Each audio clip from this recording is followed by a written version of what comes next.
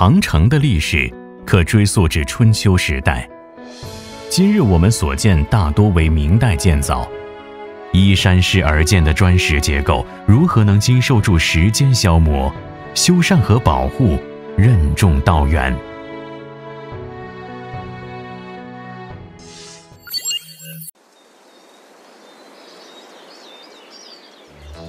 这个位置是它的烟道。说这个敌台的顶部原先的结构是一个木楼板结构，木楼板的上面还盖有一座铺房。那这一块我们现在判断，它当时可能是一个竖井的通道，便于士兵从中从中室上到顶部。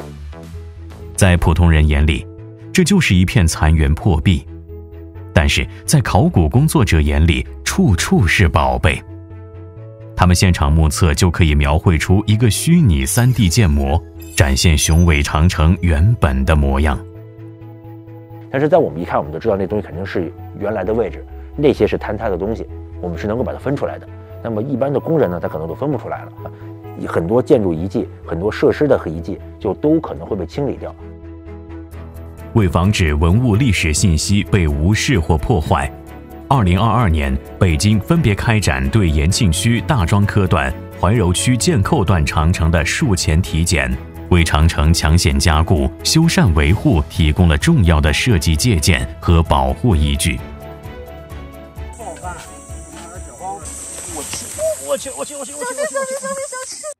要动土，先考古，好比看病时，医生先望闻问切，了解病根所在，然后开出一套治疗方案来。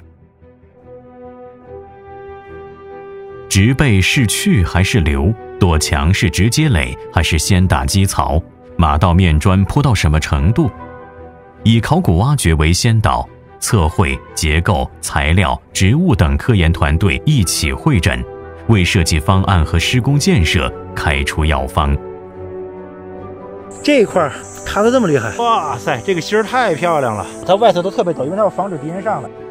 在大庄科长城修缮中，一处墙体严重变形。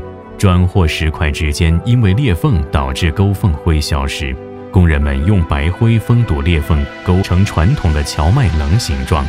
但在专家看来，经过对裂缝修补、保证结构安全的情况下，保留其现有状态，或许是最好的选择。因为它已经裂了，了为什么还勾那么好多缝呢？它就不是历史的东西了。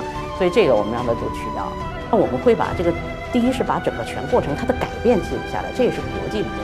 我们保护遗产不仅仅是看它的结果，还要看保护过程中历史信息和保护与扰动的情况。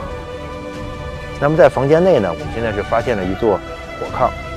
史书曾记载的火炕被挖掘并保存下来，坍塌的巨石没有被移走，而是保留原状。没有安全风险的植物得以继续生长。历史留下的一条条讯息被保留下来，长城不再只是一座冰冷的防御工事，而是成为一个信息场。古老的文化遗产就这样分批着它所经历的历史痕迹，更长久留存世间。